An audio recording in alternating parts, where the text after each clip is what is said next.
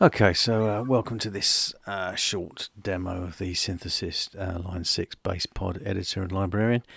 If you've seen the guitar one, you should be quite familiar with this kind of, it's much the same interface and the way of working. Uh, what we're looking at at the moment is the main amp cab uh, interface settings here. We've got MIDI set up here. We've got a main help button. If you click on the sections title here, you get specific help on uh, sections that are in here. Uh, we can switch programs on the pod quite easy, just like that. Um, something like that. Um, we can. We've got amp models. We can select different amp models, and you'll get the a nice visual representation of the amplifier that they're simulating. The again with the cabinets. You can swap those around for different ones. Um, we've got drive, bass, middle, treble. We've got a parametric equalizer on the bass pod that we can sort of sweep around and tune our sound with. Channel volume, mid sweep. Some of the amp models have mid sweep, some don't. Yeah, that one doesn't, but uh, that one does. Noise gate settings, volume pedal settings, wah wah pedal settings, etc. Uh, if we move into the effects section, we've got a permanent compressor on the bass pod, so we can we can change the ratio of that. We can compress the hell out of things. Yeah, let's just really squash it. There you go. That's sort of compressed to hell there. Uh, we've got the effects select here as you um, select additional effects, the settings for those will pop up in the window at the bottom here.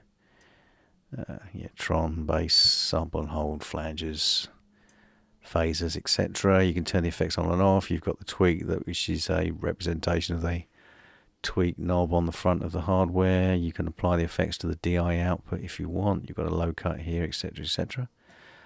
Uh, if we move into the librarian section, you've got sort of three main sections here.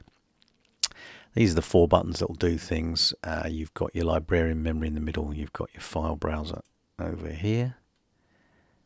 Uh, so, so I keep all my stuff in this little folder here. So the first thing you could do is you can do pod programs to librarian. So if we hit that button there, basically it loads all the memories that are currently in the hardware into the librarian memory here. And you can select different ones from here if you want. Um, but really, what we probably do now is save librarian tones to disk. So if you hit that one, it then pulls all those memories out, and you can save them all as a big tone bank to your hard drive like that. I'll just cancel for the moment. Yeah, it just says I cancelled. That's fine.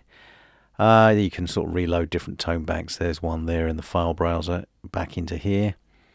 Um, what else can we do? Right, so if you've tweaked your tone and you want to save it, you can save individual tones to disk. So whatever is in the um, bass pod memory, whatever you can, whatever you can hear at the moment, if you save tone to disk, then you you can save that individual uh, tone to disk like that.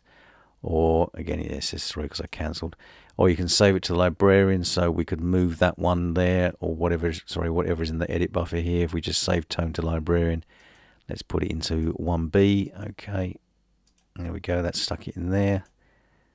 Copy it into 1c as well if we want. Okay there we go. Now you've got it's in there and it's in there.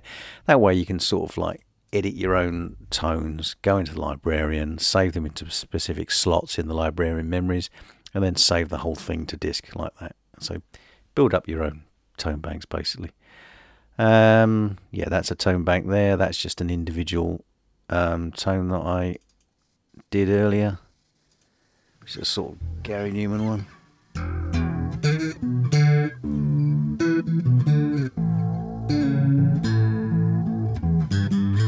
Something like that anyway, isn't it? Um, and that's basically um, that's the basic a standalone editor. We'll just move into the DAW now and uh, see you in a second. Right, here we are in the DAW. I've just loaded uh, basically a VST2 version of the editor.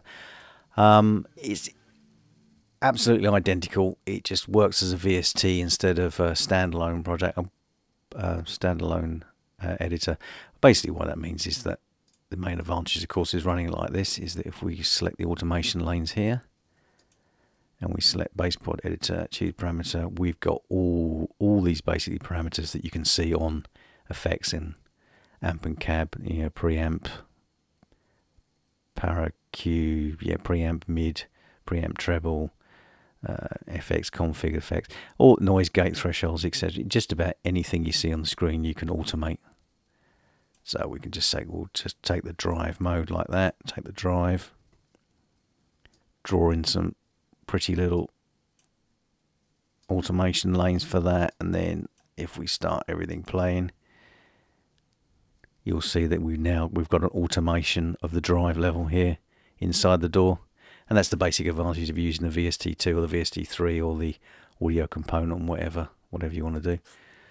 Okay that's basically it. Thanks for watching